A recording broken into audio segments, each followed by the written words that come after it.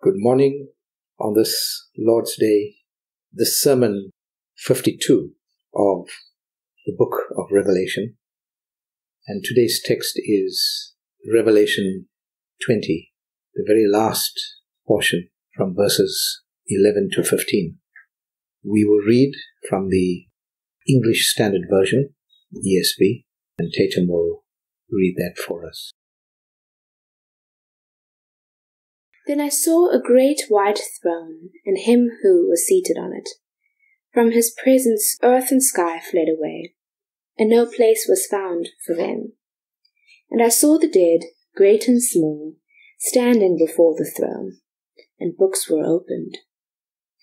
Then another book was opened, which is the book of life. And the dead were judged by what was written in the books, according to what they had done. And the sea gave up the dead who were in it. Death and Hades gave up the dead who were in them, and they were judged, each one of them, according to what they had done. Then death and Hades were thrown into the lake of fire. This is the second death, the lake of fire. And if anyone's name was not found written in the book of life, he was thrown into the lake of fire.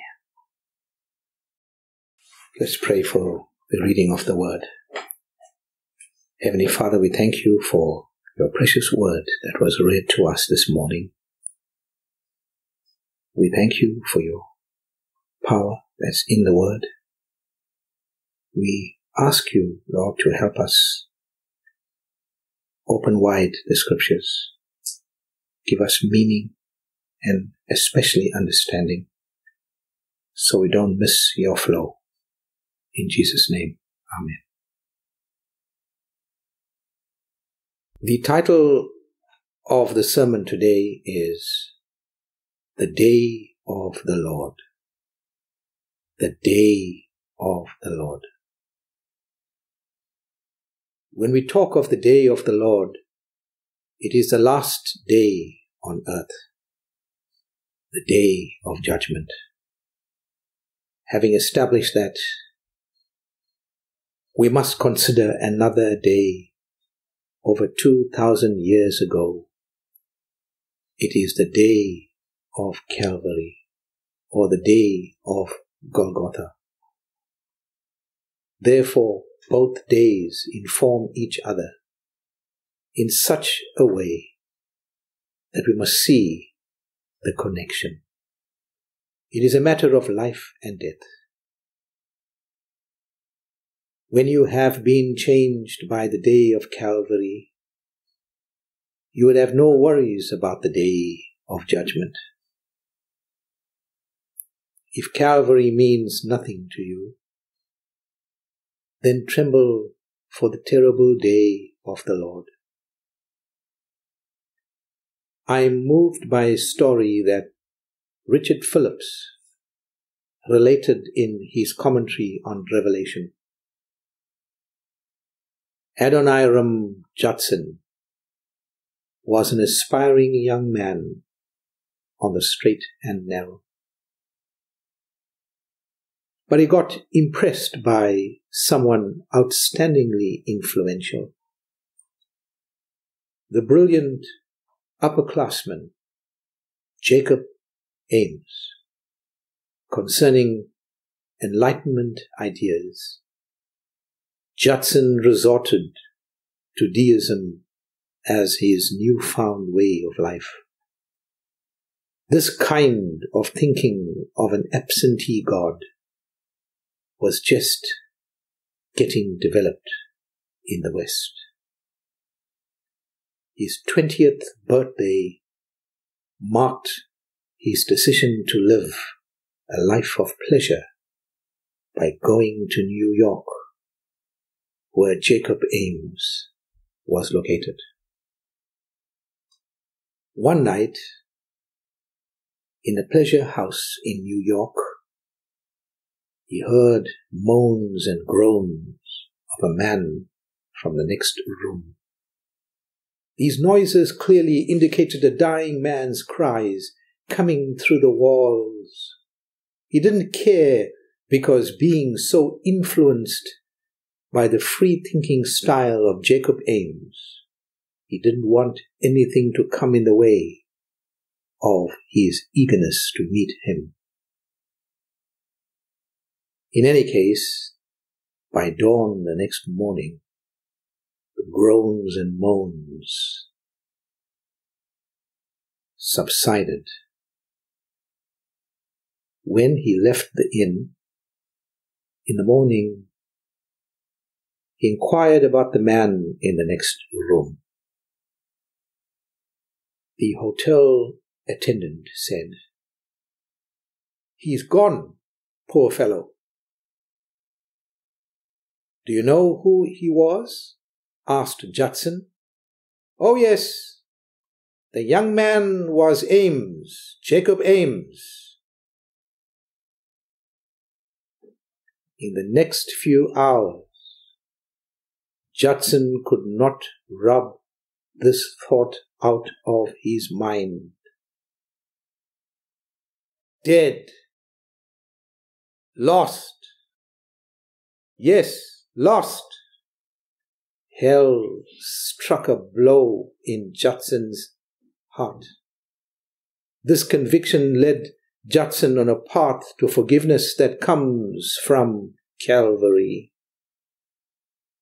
Yes, on the day of Calvary, Jesus went to hell for us. And that hell was upon the cruel cross. We need the sight of hell to give us a knuckle blow wake up call to its reality. And in this light of this story, I have my three points for the title of my sermon, The Day of the Lord. These points are the judge, the judgment, and the death of death. The judge, the judgment, and the death of death. Let's begin with point one. The judge. Imagine going before a judge. Even if you know you have a good case to win, you still won't sleep the night before your day in court. You get butterflies in your tummy. And when you see wars and rumors of wars, don't treat these phenomena lightly. The final day of the Lord is drawing near. He is the ultimate judge who will straighten out everything. The description in verse 11 is not for us to know when the earth and sky will disappear. It is describing the unfathomable greatness of God. He is a quadrillion times greater than the earth and sky, whose boundaries he himself has set. In other words, when God shows up, there is no need for earth and sky. God is indescribably bigger than them. They took a lot of energy in the world to speak about humanism and the glory of man. Let's look at the skies. They look like they've disappeared when he fills these spaces. That's the best you can get in symbolism trying to explain the bigness and the majesty of God. And then the color white, it shows us the full justice of God. And verse 11 reads like this Then I saw a great white throne, and him who was seated on it. From his presence earth and sky fled away, and no place was found in them. Can you picture that? Anyone who had made God small or, or, or think that God is small will see that he cannot escape the bigness of God on this day. The disappearance of earth and sky are the appearance of God. Well, and the appearance of God shows the biggest picture you can ever imagine. Can you picture that? God's presence is all over the earth. He is filling the earth. It is the picture that the whole universe is on trial. There's a great court case. It is like God is in your face. U.S. Florida Governor Ron DeSantis recently signed a bill that bans teachers from giving instruction on sexual orientation or gender identity in kindergarten through third grade. He came under fire by a majority of opponents. Why is there a minority struggling to hold good values? Jesus said in his day, Truly I say to you, it will be more bearable on the day of judgment for Sodom and Gomorrah than for you. What is worse when being ro- railroaded by culture? We ask that question again. What is worse when being railroaded by culture? And that is the prevailing culture it is not to speak up that is worse. When the Church of Jesus' day was dictated by cultural and political power, what did the believers do who experienced Pentecost? In the majority, they were witnesses.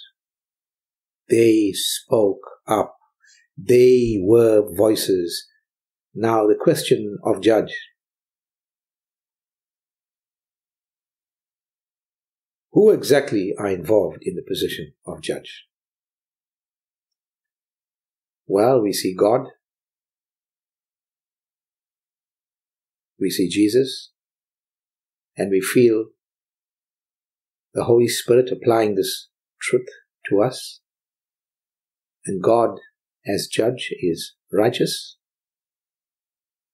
And by virtue of that principle, we must speak up in our generation. Right time for point two the judgment, verses 12 and 13. And this involves the great white throne judgment where there is no escape. The trial can never be remanded. It's an appointment where no excuses can be valid. Why is that? Everyone, whether believer or unbeliever, will have a brand new body, and a brand new body is fit for trial. He can't bribe his doctor because the doctor's profession will have come to an end. There is no need for doctors in that world. God gives these souls new bodies so he can balance his books of justice.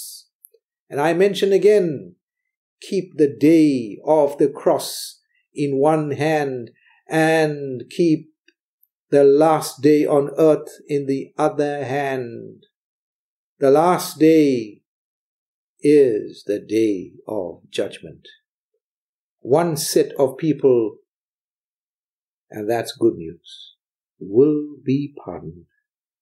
But another set of people will be sentenced. and those who have taken refuge at the cross of Christ by believing in Him and in His blood shed for them will go free on the day of judgment. Why? Why?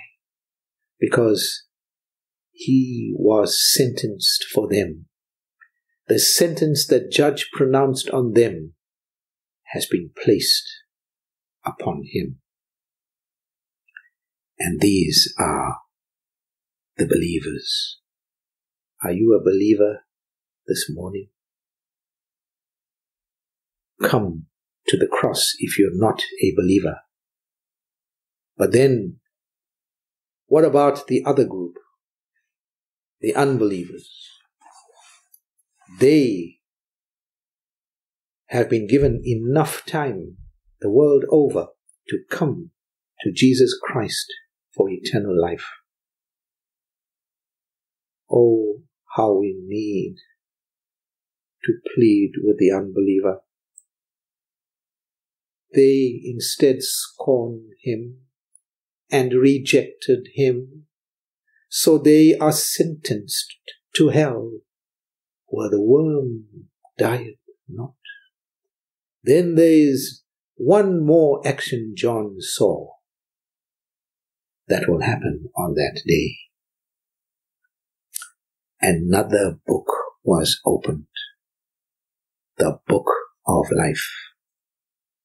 The idea included here is the idea of the judgment seat of Christ, where Paul says that all Christians will appear at that seat. 2 Corinthians 5:10 In Christian circles this is riddled with controversy. There is a branch of Christianity which states that once believers are justified, they won't go through the judgment seat as implied in the first book that was opened in our verses. This judgment, but I tell you, this judgment is about the rewards Christians have earned or lost while living this life. And Jesus speaks of rewards as understood by his Sermon on the Mount, Matthew 5:12. The Pharisees won't get any future rewards in the afterlife, but worthy saints will see the rewards of their hands. And this means that God honoring sacrifices made in this life, we will be rewarded for. While our salvation is equal, our reward is according to what we put into the kingdom of God. There are definitely degrees to rewards. And look at the positions the mother of James and John wanted for them as the sons of thunder. Matthew 20, 20 to 23. Paul speaks of teachers whose works will be evaluated by fire. 1 Corinthians 3, 9 to 15. And now I come to my last point the death of death verses 14 and 15. Then death and Hades were thrown into the lake of fire. And this is a second death. And this also reflects the finality of death as the last dispensation of the world ends. Satan was the Lord of death. He was just put into the lake of fire that we read about in previous verses. His prison house of death, which he has been deceiving the nations with, God has finally destroyed. The throwing away of death into the lake of fire is a personification, which means that death is done away with. Death is over. It is no longer a halfway house or any such holding house. The doing away of death reveals a separation from God, who is life.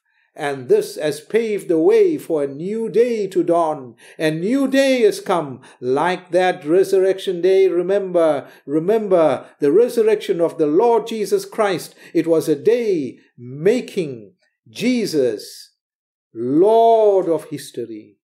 It was a day marking his reign forevermore. Now all his elect who are raised with him will reign with him forever and forever. Verse 15. Verse 15. Let's look at verse 15. And if anyone's name was not found written in the book of life, he was thrown into the lake of fire. I plead with my audience today you have to ask, is my name written in the book of life? As long as there is still time, the words of Jesus are, Truly, truly, I say to you, whoever hears my word and believes him who sent me has eternal life. He has not come into judgment, but has passed from death to life. John 5:24. But the Lord Jesus stands before you in light of the judgment and in light of the resurrection. Another two ways of seeing it. One hand, judgment. Another hand, resurrection and he tenderly says to one group, Arise to life, but to the other group, Arise to death. I ask you today, which side will you be on? Will you arise to live forever or arise to die in everlasting torment. Watch how you stand in the matter of life. Watch how you stand in the profession of life. Watch how you stand in the vocation of life. How you stand today will affect how you stand on that day. Where you stand will most especially affect where God will find you on that day standing inside Christ is the safest place on earth. When God opens the books, your name would definitely be recorded with Christ's name clothing you like a robe, like a great robe of righteousness that covers you and clothes you. Oh, friends, Elun Ebenezer, a commentator, tells a story as I come to a final close. A story of a small time crook who was caught red handed for breaking into a factory and stealing loads of stuff. He had a hot shot lawyer who was so convincing that the rogue, that the rogue's father said, Perhaps we didn't do it, Perhaps we didn't do it. I tell you, people, when Christians stand on Judgment Day, Jesus, their eternal advocate, will show we did it, but prove to the judge that he paid for it. And then the divine judge will give us full pardon, leaving us to say, it's as if we didn't do it. Christ's imprisonment for us on the cross made us go free. And that is how stunning Christ, our advocate, is. Behold the day of the Lord. And let's receive the benediction today. Now may the grace of Jesus Christ, the love of God, and the fellowship of the Holy Spirit rest and abide with us today and world without end. And all God's people said, Amen. Thank you for listening to this sermon. If you wish to hear more from Trevor Thomas, please like and share this video. Make sure to subscribe to the channel, Apostolic Witness, and to turn on the notification bell. May the Lord bless and keep you.